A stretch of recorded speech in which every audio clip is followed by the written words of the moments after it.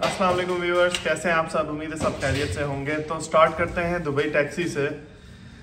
Dubai taxi भी एक company है। कहने का मतलब दुबई में टैक्सी की बात कर रहा हूँ मैं। तो बहुत सारी कंपनीज़ हैं। कार्स टैक्सी है, नेशनल टैक्सी है, दुबई टैक्सी है, हाला टैक्सी है। तो इस तरह की कंपनीज़ अपने पैकेजेस बहुत ज़्यादा अच्छे रखती हैं और बहुत लो रखती हैं। मोस्टली टोयोटा कैमरी इनोवा आजकल होंडाई की गाड़ी भी उन्होंने ऐड की है।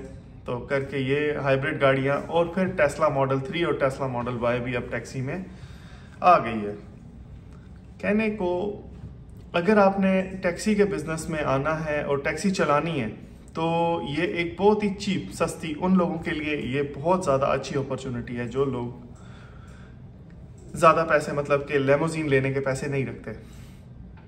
इसके बहुत ज़्यादा बेनिफिट्स हैं टैक्सी के। अगर आपके पास फोर थाउज़ेंड दिरम्स हैं तो आप लोग ये काम आसानी से आके यहाँ पर कर सकते हैं, दुबई में। नंबर एक, अगर आपके पास यहाँ का लाइसेंस है तो बहुत ही अच्छी बात है। वैसे बहुत सारे लोगों के पास नहीं होता। तो अगर नहीं भी है तो कोई बात नहीं। यहाँ पर आके भर्ती होंगे, किसी भी टैक्सी के दफ्तर में जाके इंटरव्यू देंगे। आपको बेसिक इंग्लिश आनी चाहिए, सिर्फ़ इतनी कि आप पढ़ लें, जिससे आप टेस्ट पास कर लें। और काउंटिंग आनी चाहिए जो मतलब वन प्लस वन टू इस तरह की कोई छोटे मोटे दो तीन टेस्ट हैं। उसके बाद आप टैक्सी चला सकते हैं आरटीए कार्ड लेने के बाद। इसका पहला प्रोसेस ये होता है कि आप किसी भी टैक्सी के ऑफ़िस में जाके अपना इंटरव्यू देते हैं, जहाँ पर इंटरव्यू चल रहे हों। टैक्सी का इंटरव्यू बहुत ही आसान होता है। टैक्सी का इंटरव्यू देने के लिए आपके पास बिल्कुल बेसिक सी नॉलेज होनी चाहिए दुबई के बारे में। जैसे कि दुबई मॉल है एयरपोर्ट है और ये वो। बाकी सारी चीज़ें वो आपको खुद सिखा देते हैं। इसमें आप एडवांस पे कुछ पैसे देते हैं, पंद्रह सौ, दो हज़ार, कभी एक हज़ार भी वो लोग ले लेते हैं और कभी कभार कुछ भी नहीं लेते और बहुत सारे लोगों को वो लोग भर्ती कर लेते हैं। और इसमें आपको वो अपनी अकोमोडेशन देते हैं लाइसेंस की फ़ाइल वो आपकी ओपन करते हैं। लाइसेंस की फ़ाइल ओपन करने के बाद आपके जितने लाइसेंस के एक्सपेंसेस हैं, वो सारे आपके वो देते हैं। उसके बाद आपके जो कपड़े, जो आपने मतलब यूनिफॉर्म पहनना है, वो भी आपको वो देंगे, लेकिन ड्यूटी के बाद। आरटीए कार्ड का खर्चा तकरीबन तीन हज़ार दिरम है लाइसेंस का खर्चा तकरीबन सात हज़ार पाँच सौ दिरम है वीजे का खर्चा भी सात हज़ार पाँच सौ दिरम है तो ये सब इतना सारा खर्चा वो कंपनी आपका उठाती है। उठाने के बाद आपको रोड पर छोड़ के आपकी जो गाड़ी आप चलाते हैं, उसमें अगर आपने शुरू में जो पैसे नहीं दिए, अगर वो चार हज़ार तो पहले वो काटेंगे। कभी कभार पाँच हज़ार होता है, कभी ये पैकेज छह हज़ार होता है, कभी सात हज़ार डिपेंड करता है ये टाइम के ऊपर। कम से कम चार हज़ार ये आपसे लेते हैं।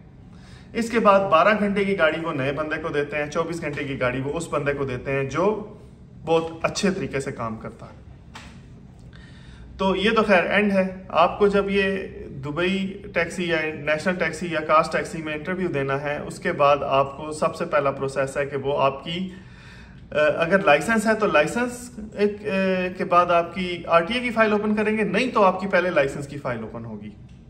लाइसेंस के लिए आपको दुबई की तकरीबन चालीस रोड टेस्ट देने रोड की क्लासें लेनी है और फिर आपको तीन टेस्ट देने हैं। पार्किंग का टेस्ट होगा, आपका एक नॉलेज टेस्ट होगा और एक फाइनल रोड टेस्ट होगा। और इसके बाद आप अपना आरटीए कार्ड लेंगे। आरटीए कार्ड के लिए आपकी पंद्रह क्लासेस होंगी। पहले ये पच्चीस होती थी, फिर ये बीस हो गई, अब ये पंद्रह आजकल होती हैं।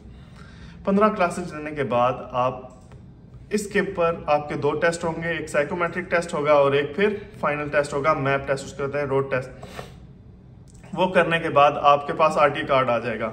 यही सेम प्रोसेस लेमोजीन का भी है। मगर लेमोजीन में आने के लिए आपके पास पचास, साठ हज़ार दिरम होने चाहिए। और इनकम बराबर है, ये बात सुन के आप थोड़े चौंक जाएँगे। इनकम कैसे बराबर है? दुबई टैक्सी रोड पर कहीं से भी कस्टमर उठा सकती है, क्योंकि वो सरकारी टैक्सी है। किसी भी होटल के बाहर खड़ी हो जाए, उसकी मर्ज़ी है। किसी भी जगह जाए, कोई उसको रोकता नहीं है। और बहुत आपको सपोर्ट करती है दुबई गवर्नमेंट दुबई टैक्सी को। टैक्सी वाले जितने भी हजरात हैं, वो फ्रीली काम कर सकते हैं। उनका ओपन जोन है। कहीं पर भी काम करें। अदर साइड पे जो लेमोजीन वाले हैं उनको ज्वाइन करने के लिए ही साठ सत्तर हज़ार दिरम चाहिए। वीज़ा आरटी कार्ड और गाड़ी के पैसे उनके पास होने चाहिए कम से कम। वो आके आपको महीने में चार हज़ार से पाँच हज़ार दिरम बचत करते हैं। एवरेज ड्राइवर की बात हो रही है। अदर साइड पे दुबई टैक्सी वाला ड्राइवर जिसने शुरू में कुछ भी नहीं लगाया था, वो भी इतने ही पैसे कमाता है। बस आप ये कह लें कि कान को घुमा के पकड़ते हैं। तो ये शब शबा ये बहुत ज़्यादा आपको हाइक क्रिएट कर दिया इस चीज़ की कि लेमोजीन बहुत सुपीरियर चीज़ है और टैक्सी बहुत कम। ऐसी कोई बात नहीं है। हालाँकि बहुत सारे टैक्सी वाले लोग लेमोजीन में आते हैं, लेकिन वो लेमोजीन में आते हैं, वहाँ पर पाँच छः साल टैक्सी जला के अपने पैसे जमा करके और फिर वो यहाँ पर आके लेमोजीन लेते हैं। तो उनसे भी आप बेशक पूछ लें कि आप टैक्सी में फ़ायदे में थे या यहाँ पे फ़ायदे में? वो यही बात, एक ही बात करेंगे। वहाँ वो मर्ज़ी से छुट्टी नहीं जा सकते, यहाँ वो मर्ज़ी से छुट्टी जा सकते हैं। सिवाय इसके और कोई ज़्यादा, कोई फ़ायदा नहीं है। इधर वो फ्री लांसर है, उधर वो नौकरी पेश है। फ्री लांसर का मतलब है कि वो कंपनी में अपनी गाड़ी इन्वेस्ट कर रहे हैं। चाहे पूरा साल वो पाकिस्तान रहे, उनकी किस्त से ही कंपनी को गर्ज है। वो अगर वो किस्त दे सकता है, अपना ड्राइवर यहाँ पे लगा के तो जाए पाकिस्तान। हमें कोई फ़र्क नहीं पड़ता इंडिया चला जाए, हमें कोई फ़र्क नहीं पड़ता। अदर साइड पे दुबई टैक्सी में आपको गाड़ी, क्योंकि नौकरी कर रहे हैं आपको तो वो चलानी है तो वो मालिक वाली जो फीलिंग है, वो आपकी नहीं होती। लेकिन आप कम से कम कमाते उतना ही है जितना के लेमोजीन का ड्राइवर लेक्सिस वाला कमाता है। तो इस वीडियो को बनाने का यही मकसद था कि ये अपना कॉन्सेप्ट क्लियर कर लें कि अपनी गाड़ी लेना लेमोजीन में और किसी की गाड़ी चलाना हाँ उसमें आपको अपनी गाड़ी की मेंटेनेंस भी तो खुद देनी है। रिन्यूअल खुद देना है, हर चीज़ खुद देनी है। टैक्सी में सब चीज़ों की जिम्मेदार टैक्सी कंपनी है। सुबह धुली हुई गाड़ी मिलेगी, शाम को आपने गंदी गाड़ी जमा करवानी है। यूनिफॉर्म आपको वो देंगे, वो उसकी ज़िम्मेदारी आपकी। उधर से वो यूनिफॉर्म को वॉश करेंगे आपका और आपको यूनिफॉर्म टाइम पे मिलेगा। आपके जूते तक का खर्चा वो आपको देंगे। अकोमोडेशन वो आपको अपनी में रखेंगे। इधर आपको ये सारे खर्चे खुद करने हैं। लेमोजीन में खर्चा आपने अपने खाने पीने का खुद करना है, आपने रहने का खुद करना है यूनिफॉर्म का खर्चा खुद करना है। आपको अपने वीजे के पैसे खुद देने हैं, आपको अपने आरटीए कार्ड के पैसे खुद देने हैं, आपको अपने गाड़ी की किस्त देनी है, वहाँ पर किस्त कोई नहीं। आपको आरटीए के बारह सौ दिरम देने हैं, वहाँ पर वो तो है ही नहीं, क्योंकि तो उसकी मलकियत ही आरटीए की है। कंपनी अपना चार्ज लेती है, जो भी कंपनी होगी लेमोजीन की। मैं अलराबाद लेमोजीन की बात करूँ तो हम लोग 1500 फ़र्स्ट ड्राइवर से मेन ड्राइवर से और 400 या 500 सेकंड ड्राइवर से लेते हैं, ये डिपेंड करता।